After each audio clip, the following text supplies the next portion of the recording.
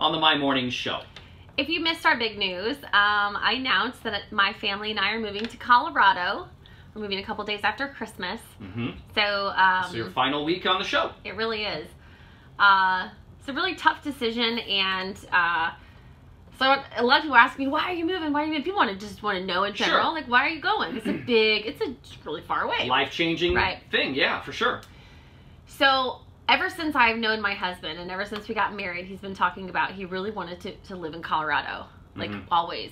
And then we had a baby, and then it was kind of like, ah, okay, well let's go now because we only have one child, you know. And then we never went, and we had the triplets, and it was just kind of like a dream of his. You know, he's from New Mexico. He really loves that part of the country, and um, he does mineral law. So he's an attorney. He does coal, oil, and gas. And there's the work here can be kind of cyclical, right? And out there, it's just abundant, right? There's tons of work out there, Right. and um, lots, of, lots of gassy.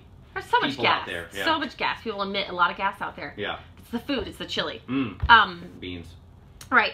So uh, he found this amazing firm that lined up exactly with what he does, and so they they they talked and they really wanted him, right? And so they offered him the job, and he said, "Well, I'm going to apply. I'm going to talk to these people out in Colorado." And I was like, "Whatever." Sure. Good luck. Do your thing, dude. And then he got the job.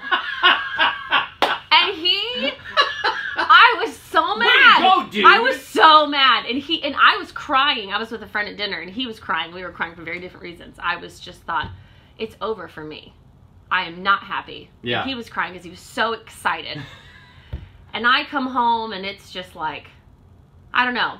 So I wasn't gonna say yes. I mean, it was kind of like I had to d- decide if this is what I was gonna do, hmm and I was gonna say no. And I thought this is not gonna happen. You know, I've got a radio thing here, my nonprofits here. I did a lot Your of soul- family and everything's here. Everything is here. I did a lot of soul searching, a lot of ego, and a lot of stuff like that to kind of deal with. Kind of like I don't, I'm not, not gonna know anybody here, and I'm really integrated in the community here, and I and I love that. But um, I'm gonna go a little long here because I want to say a couple more things Do your thing, girl. um, it's been about me for a long time. You know, it was about me when I got sober, and it's been about me whenever I started Project Reveal, and he didn't say a word. It was like I grew this nonprofit from nothing and without getting paid most years, uh, paying other people, paying, and he just he just picked up the pieces and never said a word. I would work twelve hour days and be gone, never said a word, and, Sure. and supported me. And when I would just work so much, he would say, "All right, Susie, you're you know," and and this isn't about me right now. You know, I'm not doing this for him. I'm doing this for us.